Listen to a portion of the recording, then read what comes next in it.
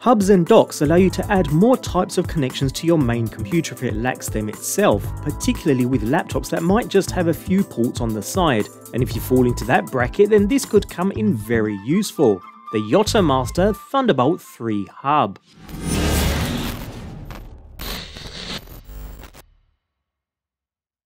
The main purpose of a dock like this one is both to make your Thunderbolt or USB 4 enabled laptop more convenient to use, as it not only brings back ports that cannot fit into the ever slimming laptops these days, but all peripherals and the power supply can be connected to the dock and then plugged into your laptop with only one cable. The same is true here, with a metal construction bringing benefits when it comes to heat dissipation, along with some simple branding on the top, we have a pretty professional looking unit here, designed to stay put on your desk, which it does quite well thanks to the feet on the underside. As mentioned, when it comes to ports, there's not a huge array to see here. Around the back we find a 1GB LAN port, alongside two Thunderbolt 3 ports, one being the main connection to your computer, and the second a pass-through for daisy chaining up to 6 other Thunderbolt or USB 4 devices, alongside a display port capable of driving a single 8K monitor, although thankfully those who want to drive two 4K monitors can still do so by using the display port as well as the second Thunderbolt port.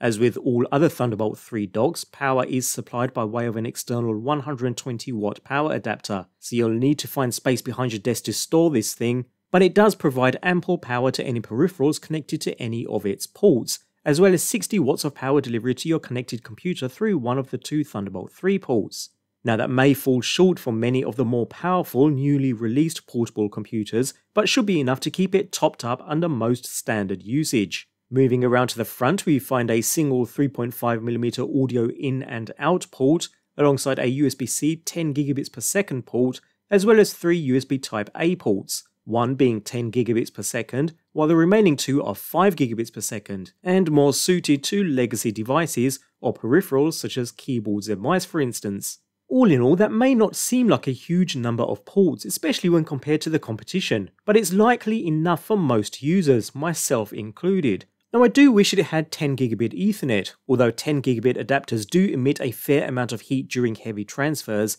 as well as more USB Type-C ports, considering that seems to be the way forward. But saying that, this hub also doubles up as an external storage device thanks to this panel incorporated into the bottom, which can be unscrewed to reveal a dual M2 SSD enclosure, one slot being for NVMe SSDs and the other for standard SATA SSDs, supporting 4TB capacity each, so 8TB in total. And with an NVMe SSD installed into the appropriate slot, Sabrent being a particular favourite of mine considering the speed and reliability you get for the price point, I've used and still continue to use a range of Sabrent drives in my workflow without any issue, making them a brand I've grown to trust. Anyway, you will notice an active cooling fan beside the SSD, so this is not a completely silent hub, there will be some noise, although saying that thanks to the small size, the fan noise was very minimal throughout testing. Certainly nothing that bothered me too much, but nevertheless it's a point to note should you need to work in a completely silent environment.